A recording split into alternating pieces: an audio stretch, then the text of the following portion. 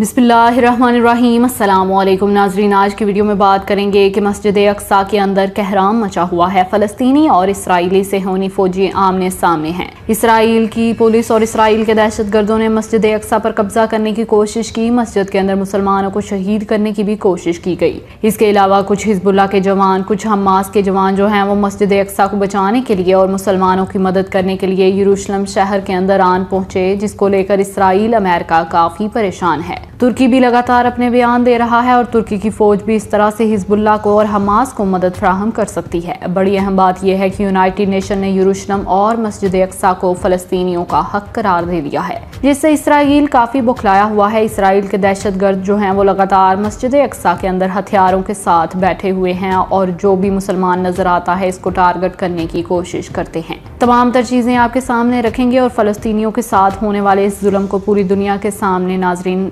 रखेंगे छोटी सी गुजारिश है कि वीडियो को लास्ट तक देखें और हमारे चैनल अरब न्यूज़ टीवी को सब्सक्राइब करें।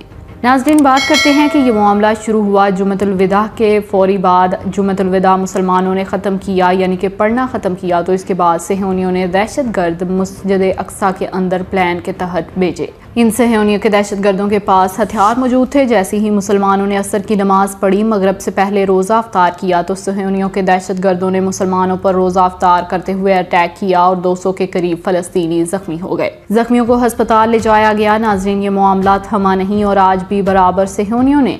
उनकी फौज ने, उनकी पुलिस ने, उनके दहशत गर्दों ने मस्जिद अक्सा के अंदर तबाही मचाई हुई है। लगातार मुसलमानों को निशाना बनाया जा रहा है। दूसरी जानब फ़लस्तीन के मुसलमानों ने इसराइल की एक मुकदस जगह, जिसका नाम टेंपल माउंट है, इस पर कब्जा कर लिया है। हमास के जंगजुओं ने हिजबुल्ला के जंगजुओं ने इस टेंपल के ऊपर झंडा लहरा दिया है। और आपको बताते चलें कि हमास और हिजबुल्ला इसराइल को दहलाने के लिए फ़िलहाल कोशिशें कर रहे हैं। बहुत सारी इतलात आ रही हैं कि हमास ने अपने बलून यूनिट जो कि गुब्बारों से बम बरसाते हैं इसराइल के ऊपर इनको मुतहरक कर दिया है। हिजबुल्ला ऑलरेडी इसराइल को दहलाने के लिए हईफा शहर के अंदर तिल अबीब के अंदर अपने जंगजुओं को बेच चुका है। फिल वक्त के लिए आपको बताते चलें कि मस्जिद अक्सा यरूशलम जंगी मैदान बना हुआ है। आपको आगाह करते चलें कि गजा की पट्टी पर फलस्तीनी हमास और इसके अलावा इसराइली फौजियों के दरमियान झड़पें जारी हैं।